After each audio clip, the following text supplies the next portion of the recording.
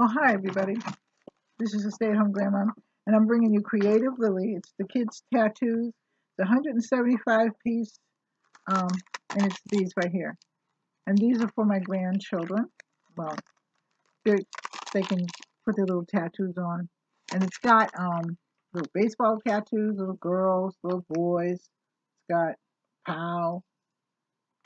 I don't know what that one is. It's, it's, got, it's cute. Let's take it all out for you and let you see it. How's everybody doing? I am doing fine. Still haven't made my appointment with the dentist yet, but I will. Had to get some things all straightened out. So once I get everything, my insurance all straightened out and everything, because I had to change insurance, and you know how that goes. So I got an insurance, and so once I get that all straightened out, get the paperwork and everything that I need, then I can go. And I'm not doing it till after Christmas anyway. Okay. Take this out while I'm talking to you. It doesn't seem to be working. Okay, so here it is right there.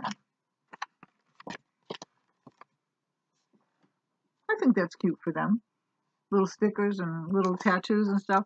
So if you like this, like, share, subscribe. Leave a comment in the comment section.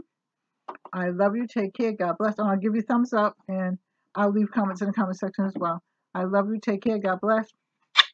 Bye-bye.